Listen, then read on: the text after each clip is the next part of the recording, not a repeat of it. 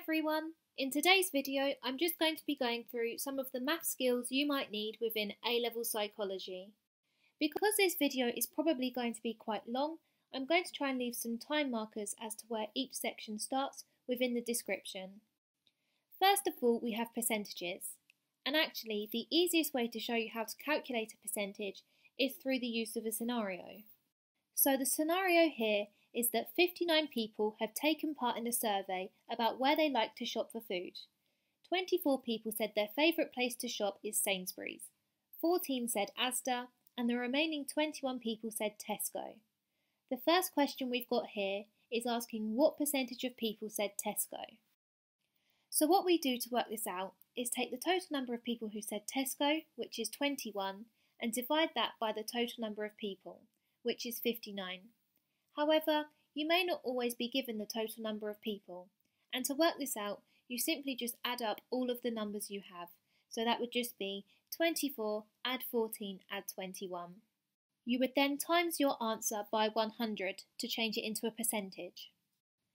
And when doing this, you should get an answer of 35.59% of people having said Tesco's. Here I've just got some additional questions you might like to try.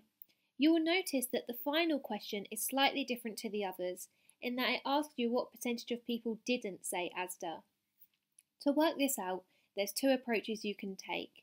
You can either add up the percentage of people who said Sainsbury's and the percentage of people that said Tesco's, or you can work out the percentage of people that did say Asda and take this away from 100.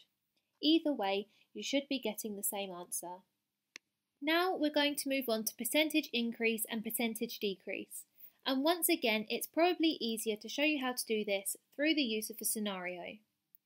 So you have 134 participants agree to take part in your study.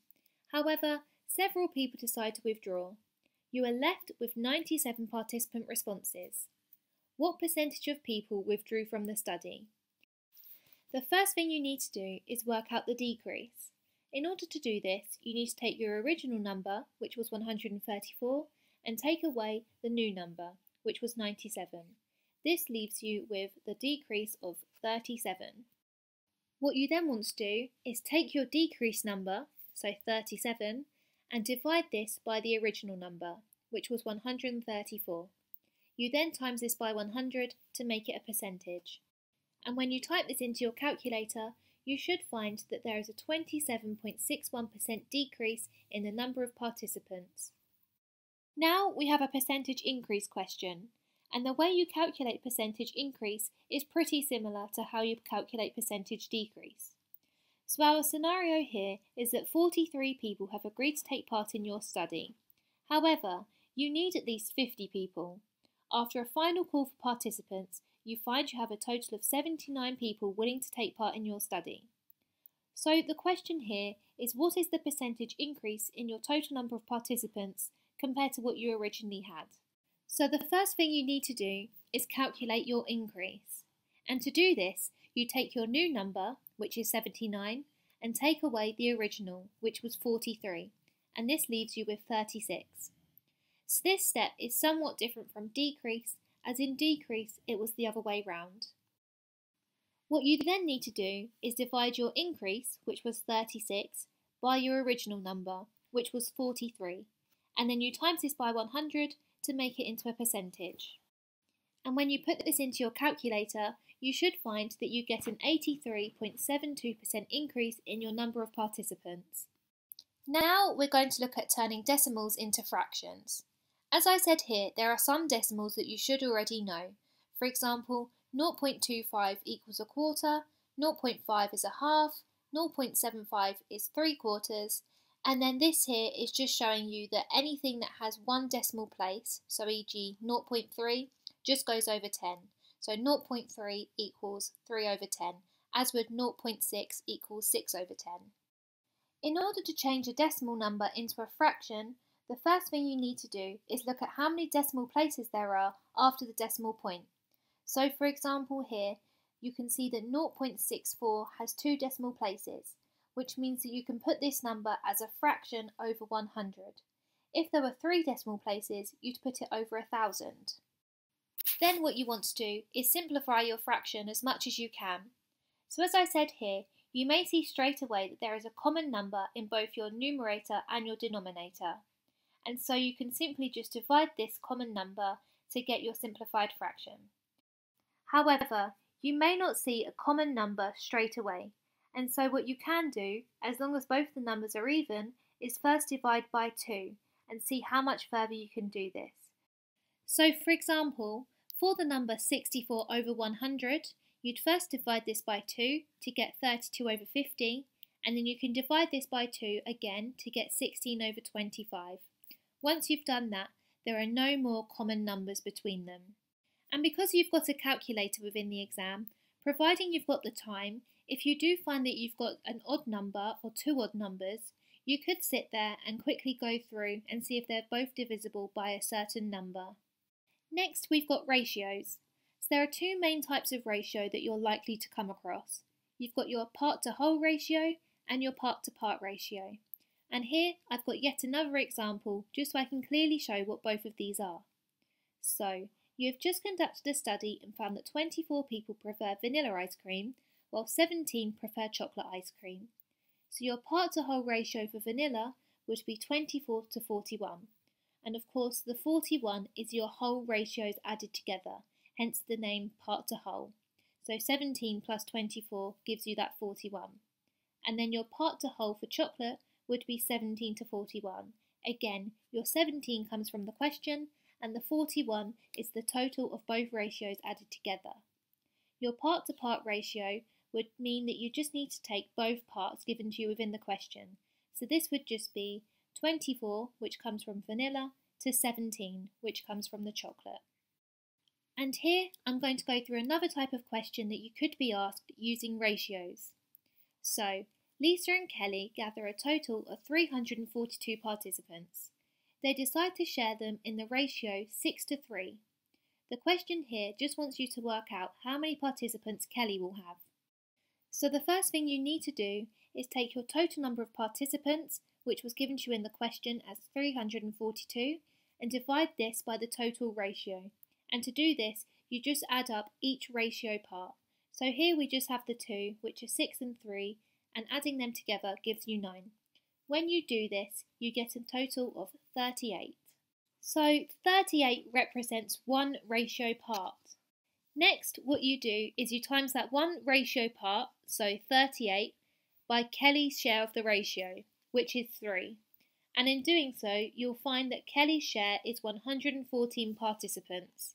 Next, you've got significant figures and rounding.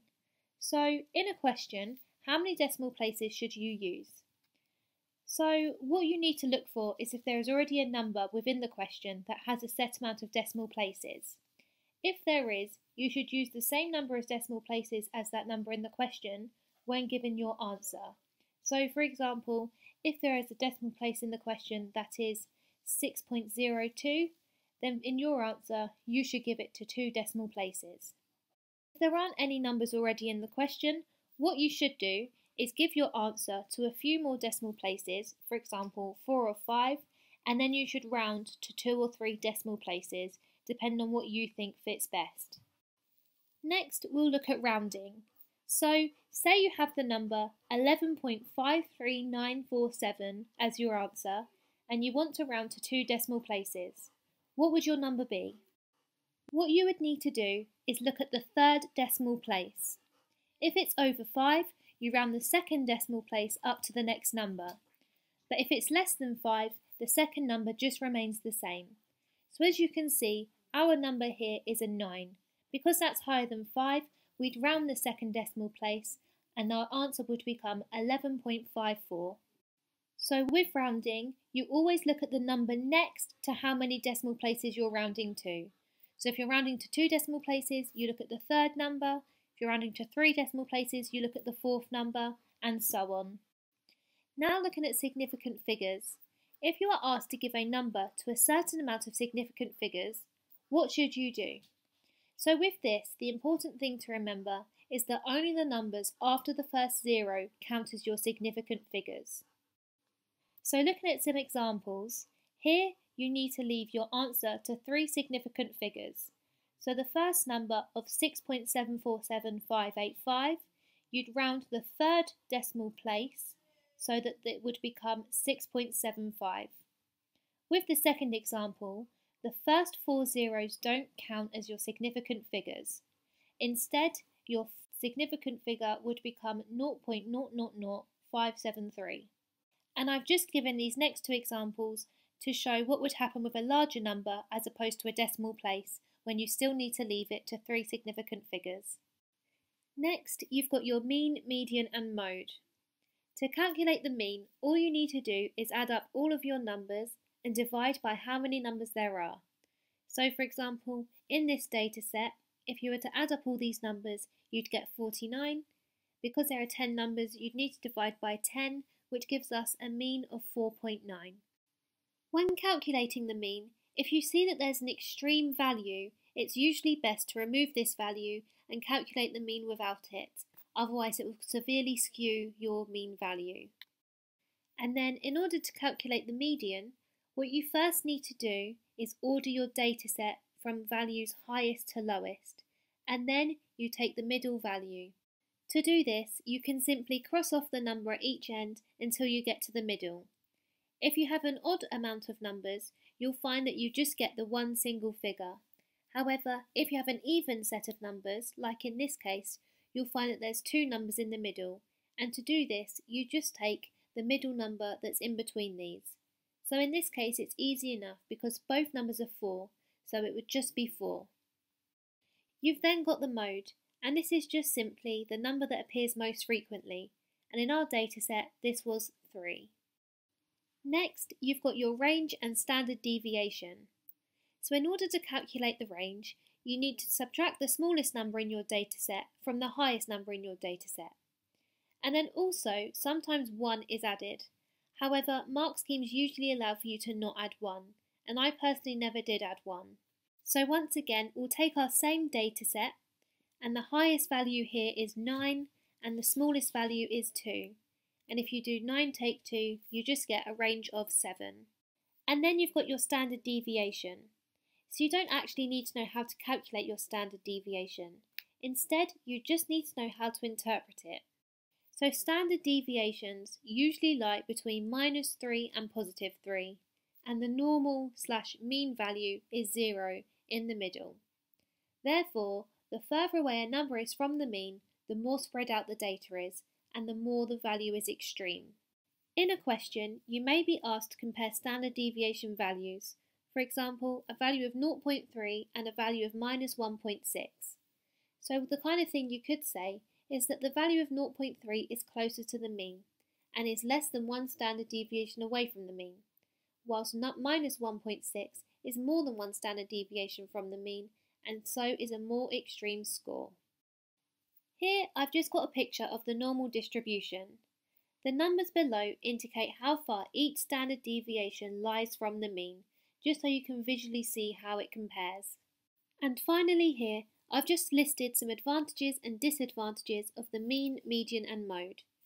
This isn't necessarily your math skills, but these are things you need to know and that you could be asked about. So feel free to pause the screen and have a look through them. So I hope this video was somewhat useful in showing you the different math skills you need for A-level psychology. As always, if you have any questions, leave them down below and I'll try my best to get back to you as soon as possible.